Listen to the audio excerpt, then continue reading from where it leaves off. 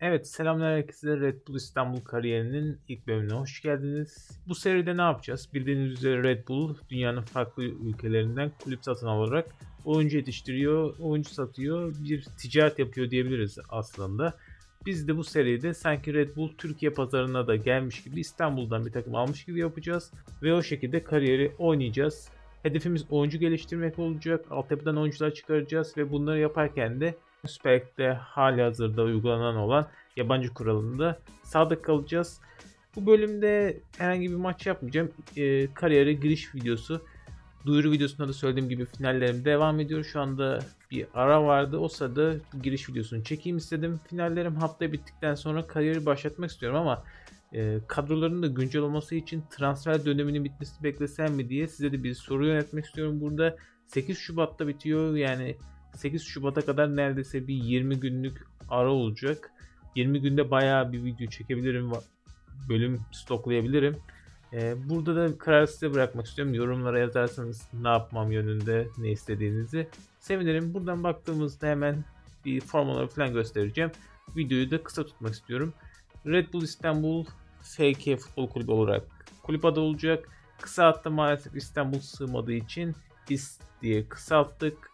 Kulüp değiştirdiyse Kasımpaşa'yı değiştireceğiz. Zaten fazla İstanbul takımı olduğu için bir İstanbul takımı daha gitmesin. Rakip Başakşehir olabilir hiç fark etmez. Forma ve stadyumlar işte böyle olacak.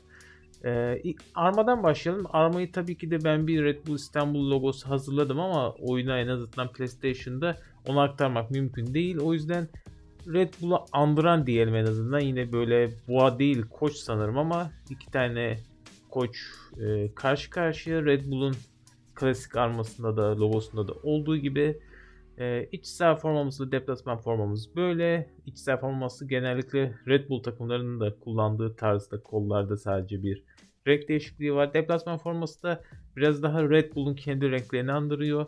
Stadyumda İstanbul Red Bull Stadyum diye yaptık.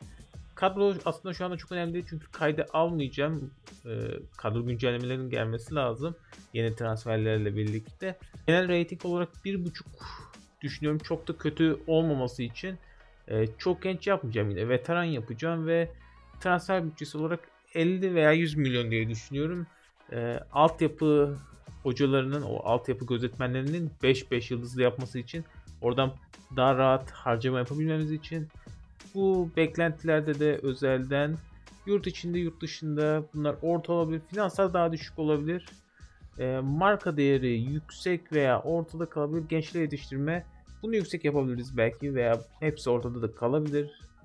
E, evet böyle yapacağız. Bu oyuncuları yine sil, e, satmaya çalışacağız ki de.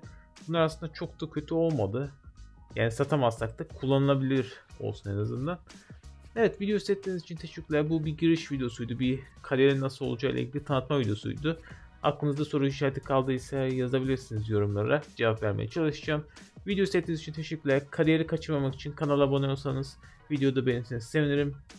Sonraki Red Bull İstanbul videolarında görüşmek üzere. Bay bay.